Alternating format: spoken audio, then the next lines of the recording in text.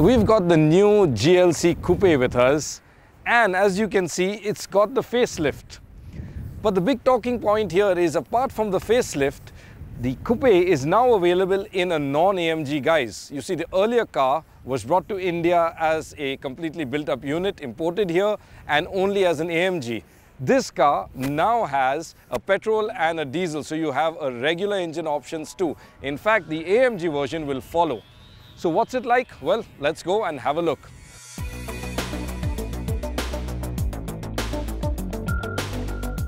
The facelift is very minor and just like the regular GLC that was facelifted about 2 months ago, at the front the coupe gets the newly designed headlights and the bumper too. The grille though is the diamond pinhead type with a single horizontal bar whereas the regular car gets a twin bar setup. At the side you'll notice the new alloys and compared with the earlier AMG coupe, the glass area is now chrome lined. At the rear, there are newly designed tail lights with the lighting element design now resembling the pattern seen on other Mercedes SUVs.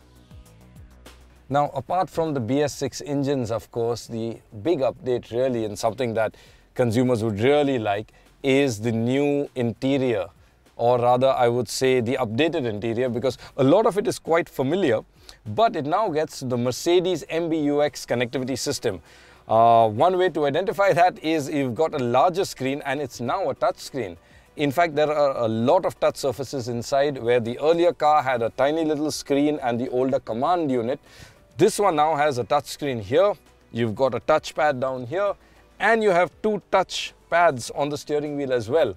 So a lot of touch interfaces as well. Of course, I do miss the click wheel, which made it quite easy to use while driving. But uh, apart from that, this whole interior is definitely a welcome change and a step above what the previous version had. The dials here too are well screens, simulated dials.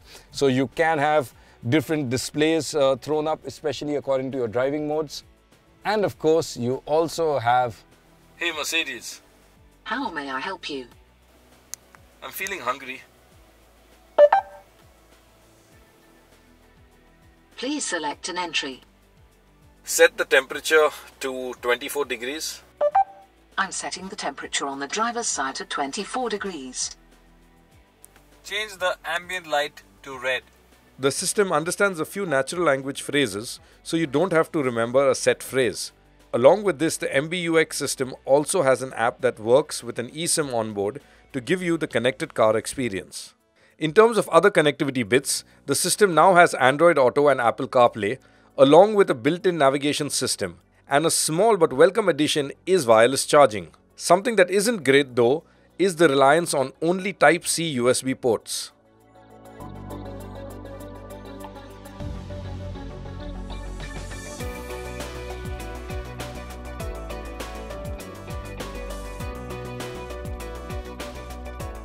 This being a coupe SUV, a compromise you'll have to make is in the boot, where the sloping tailgate could foul with luggage. A consolation though is that unlike before, the spare tire now sits in a dedicated recess, so you do get a flat floor. And then of course there's the effect of that sloping roof in the back seat. Now as you'd expect, headroom can be tight in a coupe, but what Mercedes have done is they've scooped away some of the headlining over here and that's liberated a few inches of headroom. So for my 5 foot 8 inch frame, well, it isn't too much of a problem. You do feel a bit hemmed in though. The windows are a little small, but then again, if you were to buy this, I suspect you'd be sitting up there in the front and enjoying the drive. So why don't we do that and let's head out. We had with us the diesel car, which gets the newer OM654 2-litre engine.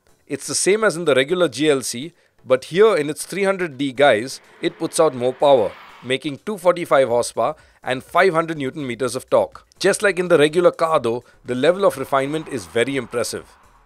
Cruising along, you'll really enjoy the engine's silence because it's really quiet, very, very hushed. You don't even realize it's a diesel at speed and even when you rev it really hard, uh, the sound note doesn't get too harsh. Now it also has drive modes, so you do have eco, comfort and sport, sport plus, etc. Uh, but what it does do is, while it influences the engine and the gearbox and the steering, it doesn't do anything to the dampers or the suspension. And honestly, that's something I would have preferred if it had control over the dampers because while the ride is really nice in corners like this, it feels a little too soft and there is some amount of roll and float as well. Uh, you know, this is the coupe after all, and you'd want a little bit of a sporty touch to it. In terms of power delivery, it's linear and strong all the way to about 4500 RPM, where no matter what drive mode you're in, or even if you're in manual mode, the auto box will upshift.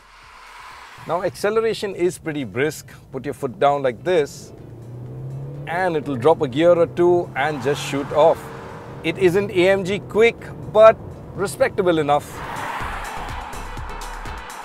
Mercedes claim a 0 to 100 km per hour time of 6.6 seconds, which makes it about 1.3 seconds quicker than the regular GLC. And you will notice that from behind the wheel. So it's quicker than the regular car, but should you buy one? It depends on how you look at it. In one way, it falls in no man's land. Neither as spacious or practical as the regular car, nor is it as sporty and fun as the AMG. But on the other hand, you now don't have to go the whole hog into AMG territory and stretch your wallet too.